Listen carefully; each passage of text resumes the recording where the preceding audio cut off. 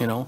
And, you know, they're saying all the, all the stuff that um, you would normally say when you're texting a guy, oh, you can do it, you can do this and that, but I mean, the one thing that's consistent is they're saying that there's a lot of good pieces to this team, and I totally agree. John Garrett, Minnesota Fighting thi- I Saints. think I've seen you before. Congratulations and welcome back to the NHL. Thank you. Uh, I know you need your skates sharpened. Oh, my Guys God, I saying- thought I was going to die out there today. You've always had the ability to, to make teams better offensively, and I uh, played with you, and I knew you were a great offensive player. Do you think your playing style is reflected in your coaching style?